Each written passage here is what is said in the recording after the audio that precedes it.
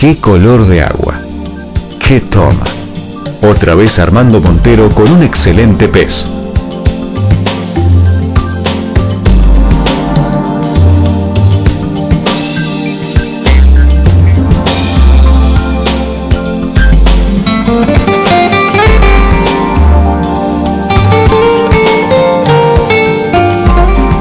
Este, empleando la primera artimaña, se envuelve en una planta para tratar de zafar la línea.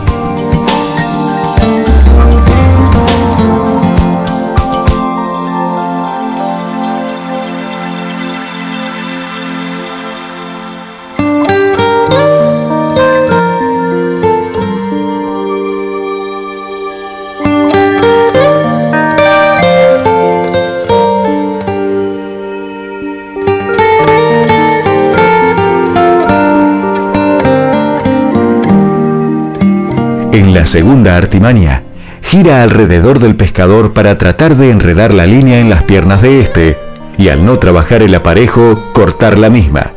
Y casi lo logra. Finalmente, Montero levanta esta trucha arcoíris de más de 3 kilos como mostrando el trofeo a una platea de personas.